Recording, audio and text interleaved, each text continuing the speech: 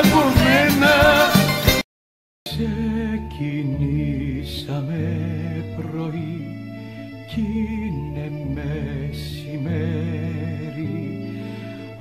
Ας το χεράκι σου